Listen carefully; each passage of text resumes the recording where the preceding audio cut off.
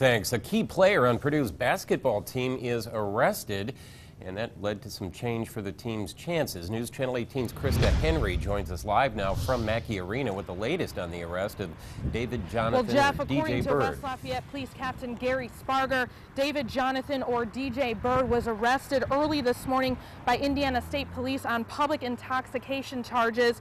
Now, police were called to Where Else Bar at in West Lafayette at about 3 o'clock this morning about a disturbance. Now, Sparger says a bouncer at the bar told police he had been battered by Byrd. Byrd is a starting junior guard on the men's team. What you're looking at right now is a News Channel 18 exclusive photo of Byrd getting arrested at the bar early this morning. Now, Captain Sparger would not say how the bouncer said he was battered, but he did say the investigation is ongoing. It was alleged that uh, Mr. Byrd had been in some type of altercation with the bar staff, and uh, there had been a complaint that he battered someone.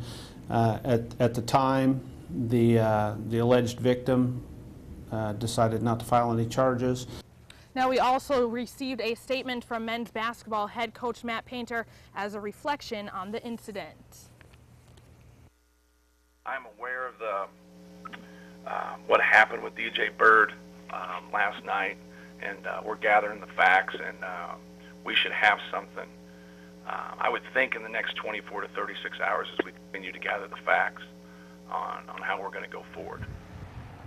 Now, Byrd was booked into the Tippecanoe County Jail at about 3.30 this morning and it released at about 8.30. We have received word that junior guard Kelsey Barlow has also been dismissed from the team after being involved in this incident. As of this afternoon, there is no clear picture of what Byrd's punishment will be from the Purdue's um, athletic department. Um, live outside Mackey Arena, Krista Henry, News Channel 18.